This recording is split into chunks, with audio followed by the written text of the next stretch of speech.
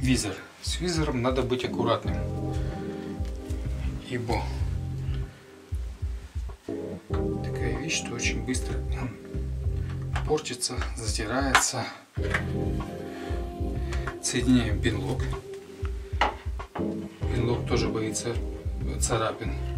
Причем он боится царапин еще больше, чем визор. Вот.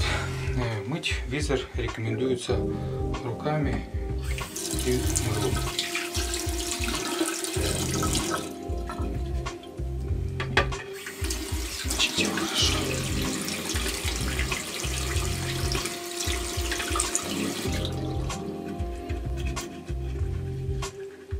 Стараемся ничем его там не, не, за- не затрагивать.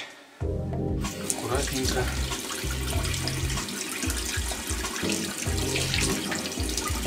Этот визор у меня служит три года. Три или четыре, забыл уже. Я стараюсь его даже в дождь, ну, стараюсь поменьше за- затирать, поменьше трогать руками. В дождь пользуюсь вот, вот такой вот штукой, антидождь Runway. Э, Просто брызгаю на визор и растираю. И потом капли просто слетают с него и все.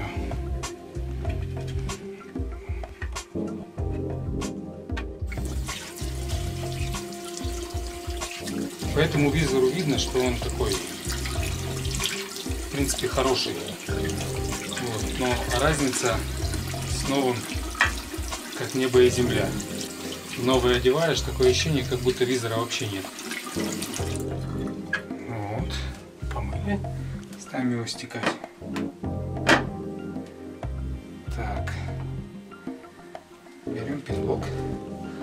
Просто если э, мыть вместе с пинлоком, то э, между визором и пинлоком э, из-за того, что визор сгибается, попадает туда вода. То есть пинлок все равно придется снимать. Ну, пинлок вообще очень-очень так аккуратненько. Я стараюсь вообще на него руками с этой стороны не трогать. Но все немножко. Каждая царапинка, она мешает потом.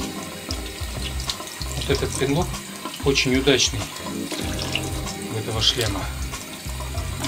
Потому что он почти весь визор закрывает. В других шлемах такого не встречал. То есть вот он сейчас ставить не буду, просто покажу, что он закрывает очень большую такую площадь вот сверху донизу и не мешает взгляду, когда ложишься на бак. Э, Вот в прошлом визе, в прошлом шлеме у меня вот пилок вот, вот так вот был. Граница проходила. Когда ложишься на бак и упираешься прям взглядом упираешься вот в эту вот границу. Поэтому ну, обращайте внимание на такие вещи тоже при покупке шлема.